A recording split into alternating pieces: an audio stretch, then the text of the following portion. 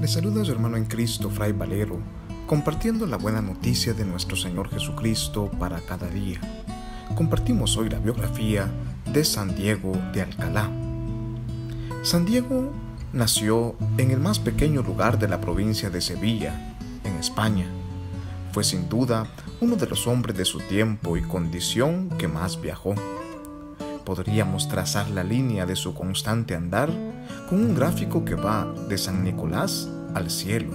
pasando por Sevilla, Córdoba, las Islas Canarias, Roma y Castilla, rindiendo viaje en Alcalá de Henares para saltar desde la gloria del sepulcro a los altares. En el polvo de sus sandalias quedaron adheridas y mezcladas tierras de innumerables caminos de España, de Francia y de Italia. De San Nicolás pasa a un lugar cercano a la villa para ponerse bajo la dirección espiritual de un santo sacerdote ermitaño, el primero que cultiva sus ansias generosas de total entrega de servicio a Dios. De allí, confirmada su voluntad de consagración al Señor, se traslada a Arrizafa, cerca de Córdoba, en cuyo convento profesa como fraile lego en la orden de hermanos menores de la observancia franciscana.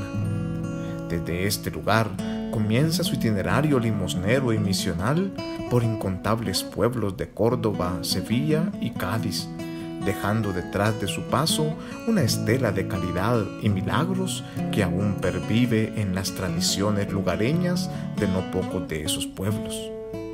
pero el humilde fraile de tierra adentro había de enfrentarse en su constante caminar con las rutas del mar océano, empresa en aquellos tiempos ni corta ni común. Las Islas Canarias, especialmente Fuerteventura, son ahora la meta de su itinerario misionero en calidad de guardián, para lo que fue designado hacia el año 1449.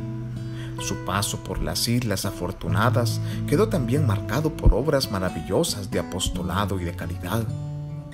Vuelto a la península hacia el año 1450, en ocasión del jubileo universal proclamado por la santidad de Nicolás V, su piedad mueve sus pies camino hacia Roma para lucrar las gracias de aquel jubileo. Después de varios meses de peregrinar, llega a la ciudad eterna al tiempo de la canonización de San Bernardino de Siena,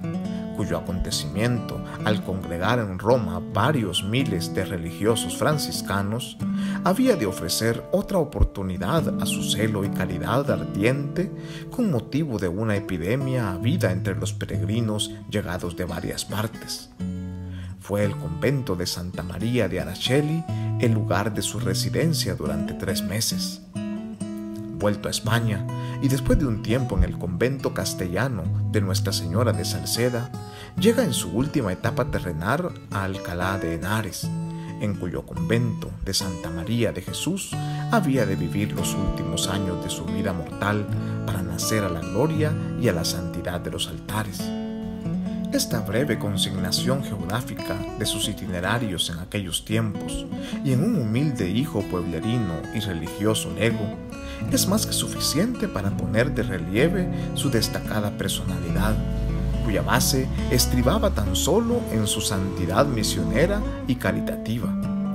Si hubiésemos de sintetizar la fisonomía de su espiritualidad, dentro siempre del estilo franciscano de su vida, no dudaríamos en destacar la obediencia hasta el milagro, la sencillez y servicialidad sin límites, la caridad heroica para con todos, como las virtudes que le encumbraron a la santidad y que le hicieron famoso y hasta popular en vida y después de su muerte el humilde fraile Lego, que hacía salir a su paso a todos para verle y acogerse a su valimiento delante de Dios mientras vivía, había de congregar junto a su sepulcro a los grandes de la tierra después de muerto. Cardenales y prelados de la iglesia, reyes y príncipes, hombres y mujeres del pueblo, habían de ir sin distinción de clases al humilde religioso franciscano Enrique IV de Castilla, primero, cardenales de Toledo, príncipes de España, el mismo Felipe II después, acudieron junto a su tumba llevados por el mismo sentimiento de confianza en su santidad milagrosa, o hicieron llevar sus restos sagrados hasta las cámaras regias, como en el caso del príncipe Carlos, hijo del rey prudente, a fin de impetrar de Dios por su mediación la curación y el milagro nada menos que el propio Lope de Vega había de inmortalizar en una de sus comedias en verso el milagro del príncipe Carlos, que había de cantar en la poesía del Fénix de nuestros ingenios el pueblo todo de España. Nada con más autoridad que Sixto V puede resumirnos las características de la santidad de San Diego. El Todopoderoso Dios, dice en la bula de canonización, en el siglo pasado muy vecino y cercano a la memoria de los nuestros, de la humilde familia de los frailes menores, eligió al humilde y bienaventurado Diego, nacido en España, no excelente en doctrina, sino idiota y en la santa religión por su profesión del ego, mostrándole claramente que lo que es menos sabio de Dios es más sabio que todos los hombres, y lo más enfermo y flaco más fuerte que todos los hombres, Dios que hace solo grandes maravillas a este su siervo pequeñito y abandonado, con sus celestiales dones de tal manera adornó y con tanto fuego del Espíritu Santo le encendió, dándole su mano para hacer tales y tantas señales y prodigios, así en vida como después de muerto, que no solo esclareció con ellos los reinos de España, sino aún los extraños por donde su nombre es divulgado con grande honra y gloria suya, determinamos y decretamos, continúa en la bula, que el bienaventurado fray Diego de San Nicolás, de la provincia de Andalucía española, debe ser inscrito en el número y catálogo de los santos confesores, como por la presente declaramos y escribimos, y mandamos que de todos sea honrado, venerado y tenido por santo. Lo humilde y pobre del mundo fue escogido por Dios para maravilla de los grandes y poderosos de la tierra. En Diego se cumplió una vez más de modo esplendente el milagro de la gracia.